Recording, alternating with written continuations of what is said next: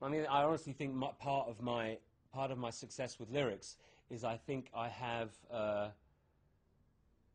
I think I have quite a good take on both sexes, maybe because I grew up with two sisters, and also because of the relationships I had in my earlier life with women. I kind of, and now having totally, uh, I suppose, I feel totally part of gay culture now. Um, but I feel like I have an understanding of both sexes, and I think an understanding of both sexes lyrically, and, for, and I think um, my ambiguity probably means I have attention from both sexes. Uh, and that has got to contribute to a, to a successful career because you're talking about the whole of the population rather than one sex, you know.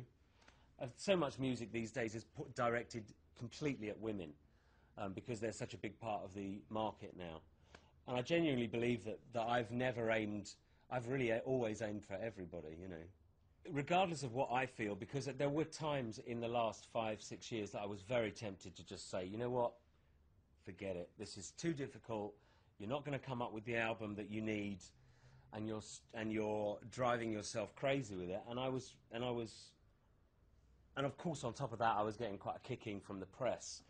So at that point in my life, with with so much going on emotionally. Uh, uh, watching, you know, being kicked about by the, by the media and the press and the industry, almost wishing that, um, and so, so almost wishing that my career was over, I just was, I was almost ready to give up.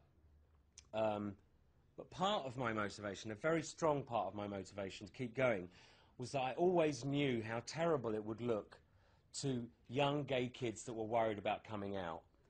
Um, not that they necessarily see a great parallel with a, a, you know someone who was outed when they were 35, but I think it is a very it would look it would be a horrible way to leave my career to leave people thinking that my sexuality took away my market because I just knew that wasn't true, and I felt a kind of responsibility not only to myself but to young gay people to say, look, I because I was felt absolutely sure that my market hadn't left me. So I felt it, it re really important to say, look, it is not damaging if you are if you have ability. It is not damaging um, to have the, the, the, confidence to come out. Um, and that in certain parts of life it really doesn't matter anymore. In certain careers it really doesn't matter anymore.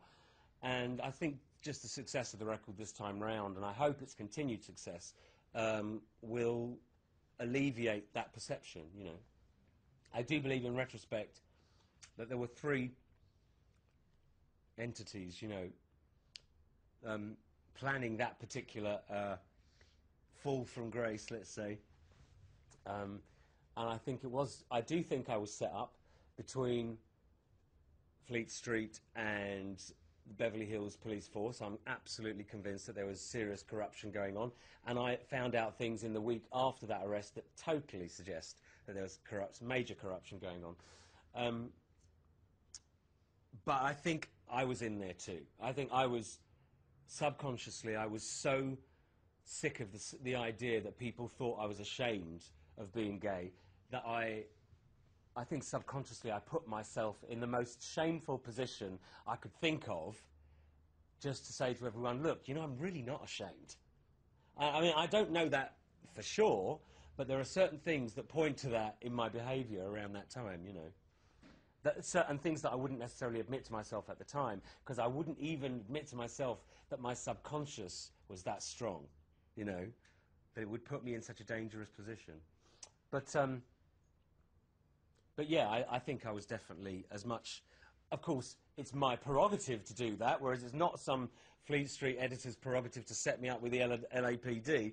But uh, apart from the fact that so many positive things came from it, I do have to admit to myself that I was absolutely. Um, I was a lamb to the slaughter, but I knew it, you know.